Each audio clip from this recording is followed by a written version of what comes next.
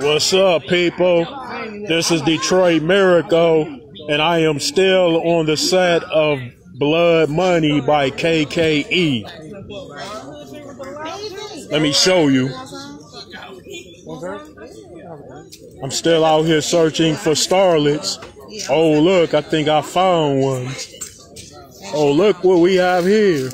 Actress, model. Hello. This, this place is full of starlets, as you can see. So tell us something about yourself, something new.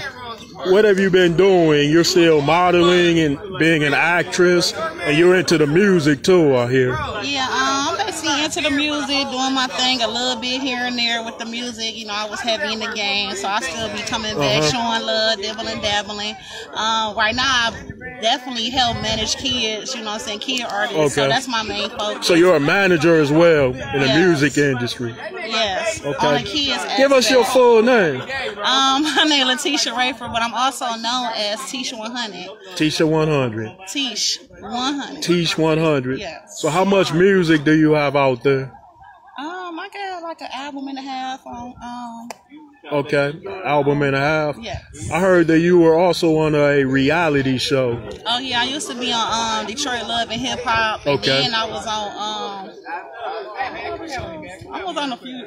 Oh, you didn't done, yeah, quite a few. Yeah, so but definitely the main one was the um Detroit Love and Hip Hop. Okay, I, I know that was a standout role, right? Yeah, it definitely was. So, So, how many film projects have you been involved with?